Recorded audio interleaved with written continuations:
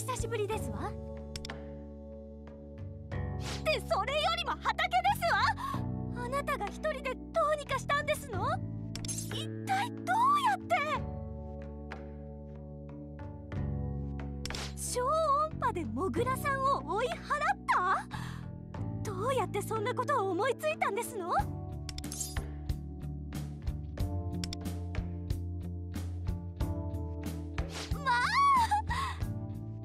それでがむしゃらにいろいろやってみたらうまくいったと。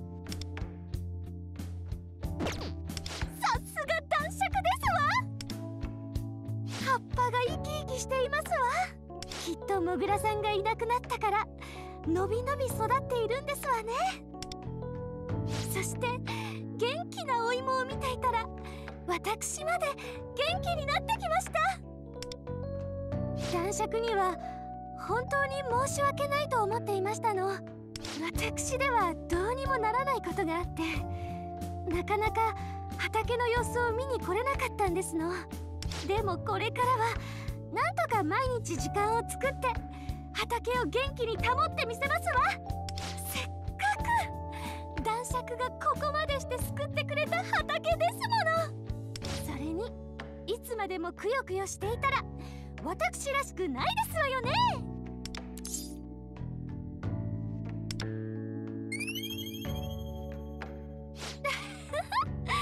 嬉しいですわ。でも無理は禁物ですわよ。ここは息抜きに来るところですわ。サインインが義務になっては本末転倒ですもの。いけない！大事なことを忘れていましたわ。まだお礼を言ってませんでしたわね。ありがとうございます。男爵。やっぱり一人より二人ですわね。私だけではお芋を枯らしてましたわ。二人ならこうやってトラブルも乗り越えられますし。何より楽しいですもの。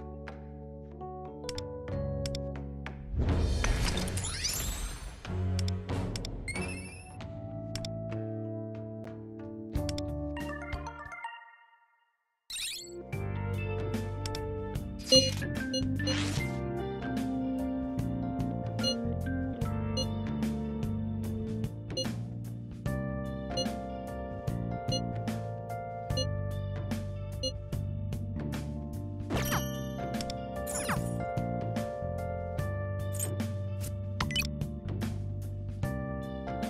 には町に出かけてみませんこと。